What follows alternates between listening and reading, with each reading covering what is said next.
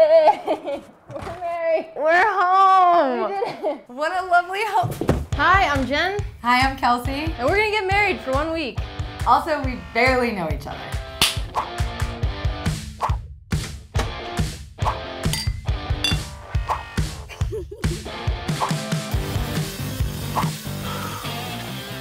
I've been in relationships. I've never been in one that I would say is like particularly serious. Didn't you say you clean? I am maybe the most single I've ever been. Swipe right, swipe right, swipe right. It's gonna be chaotic trying to find a balance between work, still being able to take care of myself, but also putting someone above all those two things. I don't know what Jen likes. I know she likes chocolate. When I'm talking to someone new, if something goes wrong, like my immediate thought is abort. Like get all the women and children first. Wait, Like, is it? it's a bear. You can't tell. Mm, it looks like a sock that's been jizzed on it.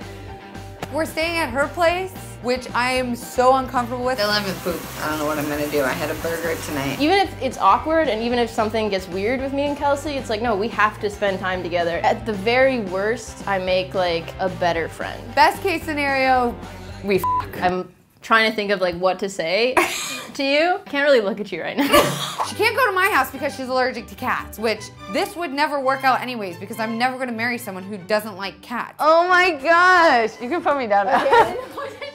What a lovely help.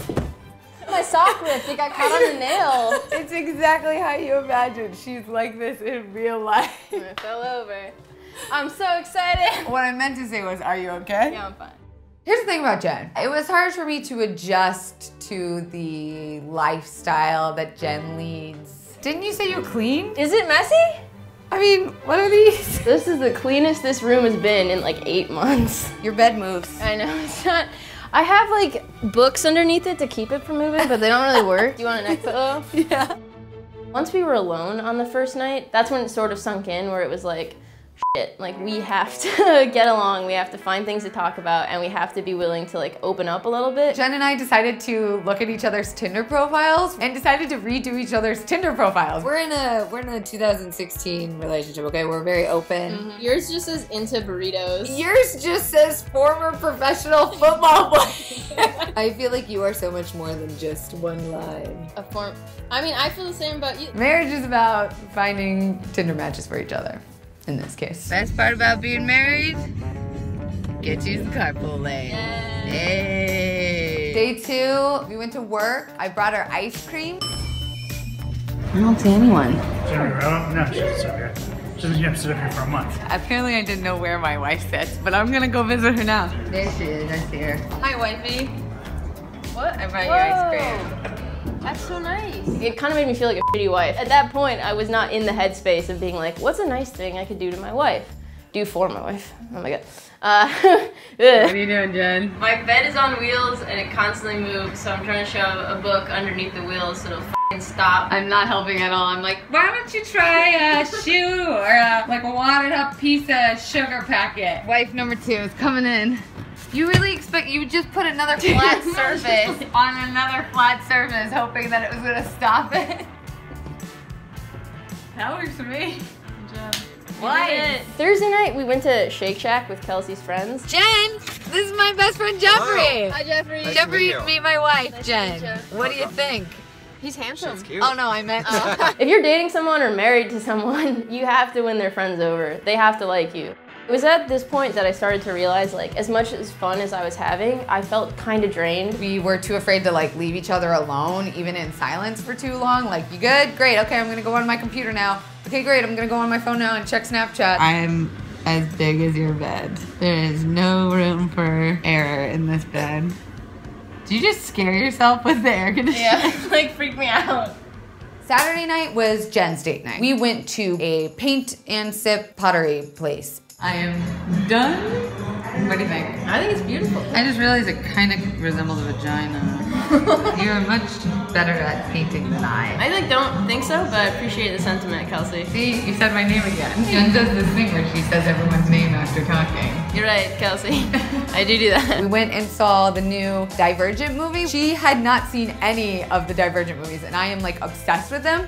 And she went just because I wanted to see it. Was the movie going experience any different from then going by yourself? There was more talking, which was Like, I wanted like to see a movie that she wanted to see more than I didn't want to see a movie that I didn't want to see. Sunday, we got up early. Trying to poop at Jen's, I can't. We went to a dessert tasting fair. After like the third dessert, I felt like I was gonna puke. Accidentally knocked all the cream out of Kelsey's cookie onto the table. I have never met someone more hungry than now. The food was really just a vehicle to like break the wall for us to talk about other deep shit. Like we talked about pooping our pants. Yeah, and then we also talked about like race relations. Yeah, and then tonight we're going to play Settlers of, of Catan. which neither of us have played before. No, so, so- we're actually about to lose Settlers of Catan. Do you have any advice for a, a healthy relationship? Don't live in the valley and don't live together. Alright, so we are we're definitely getting divorced. It was good having Kelsey there because I kind of felt like she was my anchor. Like if I felt a little bit uncomfortable, if I felt a little bit awkward, she was someone that I could lean on. This is my woman. I'm very comfortable with physical contact.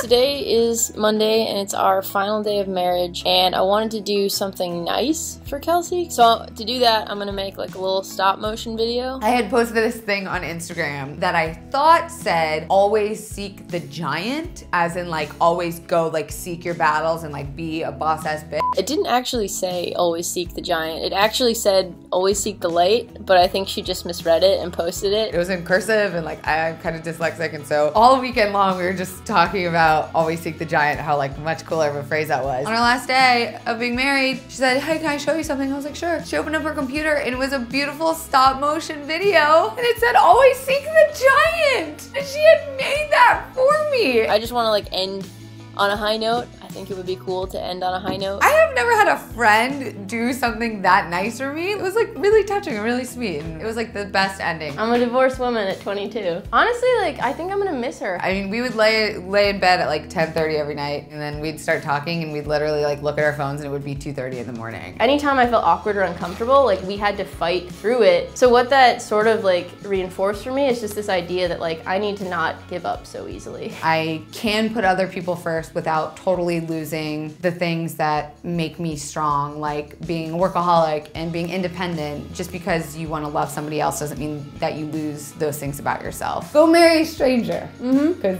you'll make the best friend out of it. Yeah. That's the best friend. I, I it felt good. No, let's go crush pussy.